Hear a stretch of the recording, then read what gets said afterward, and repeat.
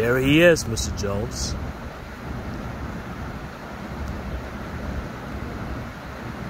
Hello there, Simon Green.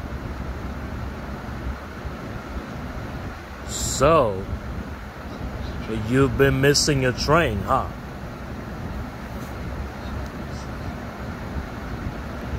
You're gonna be on it? Um, we came over here to talk to you because we want to know why you quit your job. You told your boss you was coming over to meet person. He told you, don't you ever dare marry that black girl.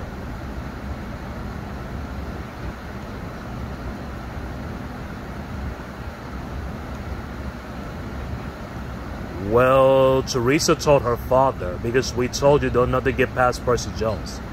That too. Uh, come on, Simon, let's get real. What you did with your boss was pretty audible, impressive, and pretty stupid and inappropriate. You cannot quit your job, and every time somebody rolls their eyes at the two of you, you'll never be able but not to make any money you wanted.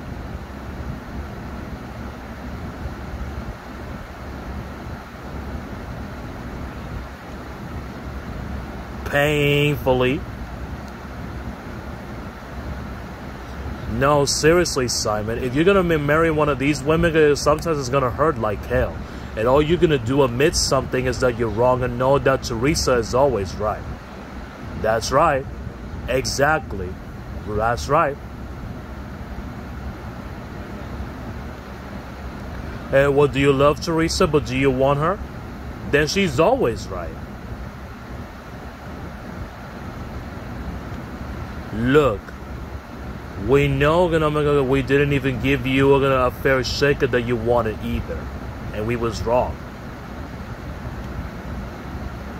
And Teresa, she'd be lucky but to have you.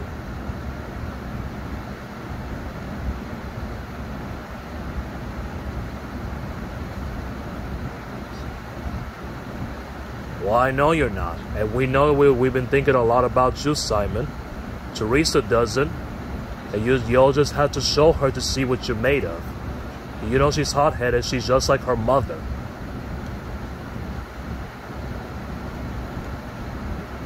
And every man like you gets to choose your destiny, Simon. No matter what your father always did. Because he left to Omega ever since when you were two years old.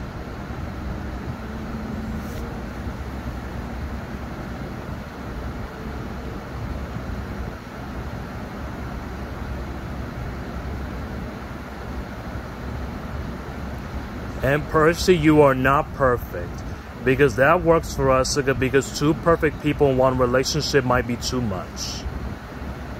And sometimes you've been barking and bluffing and busted, but we always see the boy that she married 25 years ago, but she only wished she loved him as much as she did back then, but she doesn't. But she been loving you more. Thank you, Marilyn. That was lovely. Percy, your vows? Marilyn Jones. And everybody knows that Percy didn't even write his own vows.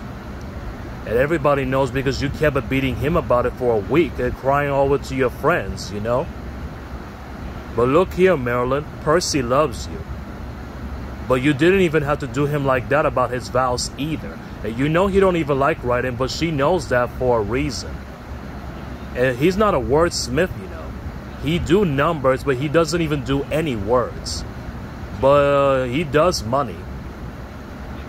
And after 25 years old, Percy that been asking you, Marilyn, is to let Percy be him.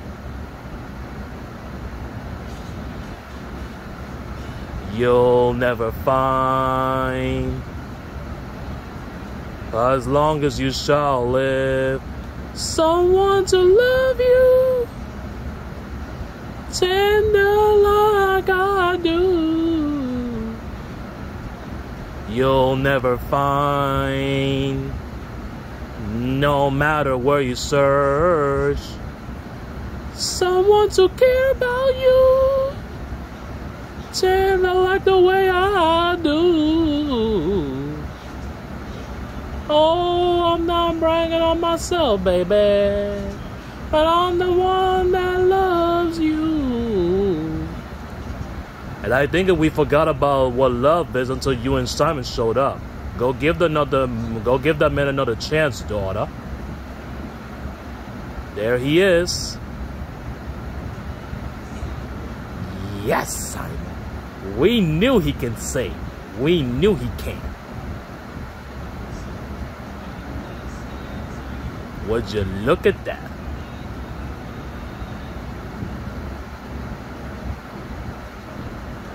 Reggie, be quiet, please.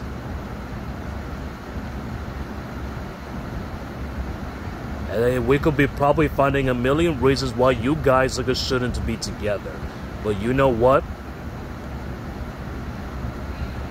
We don't even care either. And we are very sorry too.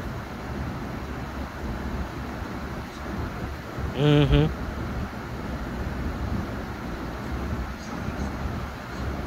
Yeah.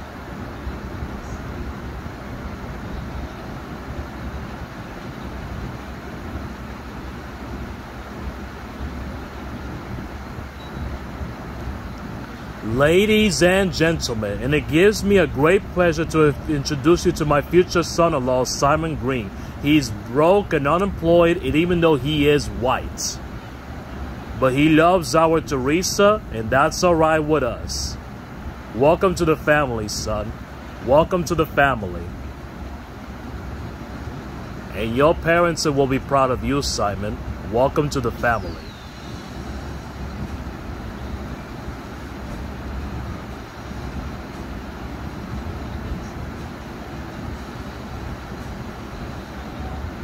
Drink it up and enjoy, everyone.